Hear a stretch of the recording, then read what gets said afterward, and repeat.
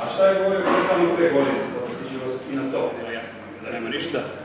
Dakle, očekujemo odgovore na... Vi koji prije dolazili imate priliku to da vidite i da glasite, oni koji nisu trebali malo da nauče kako se sprovode investicije, a ne, a ne, a ne da ovako javno, kao što bilo, ne znam, na kontu sedenju, bila je javna prezentacija i kad se radi bilo koji ostalo posle sprovedene procedure javnih nabavka i izbora izvođača, kada se izvođenje radova.